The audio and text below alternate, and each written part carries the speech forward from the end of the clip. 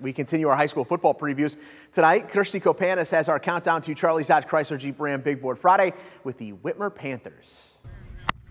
The Whitmer Panthers are glad the past is in the past. After going 1 and 4 last season, they are preparing each day to build a better foundation, but that's going to be a challenge in itself with the preseason being shorter.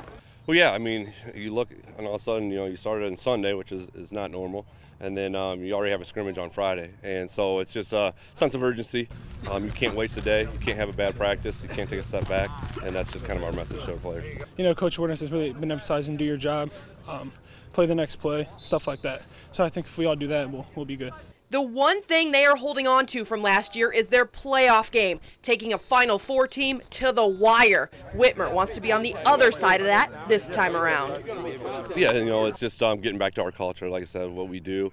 Um, the good thing was, you know, even though we lost the playoff game, you know, that team went to the Final Four and, and it took them to the last two minutes to beat us. So um, some of the players kind of got to see that um, experience, uh, what it should be like, and uh, I think we kind of carried that into the season. Um, it was big. It was huge. We have a lot of guys back, and I think this year's group's a little more tight, and we're more of a family.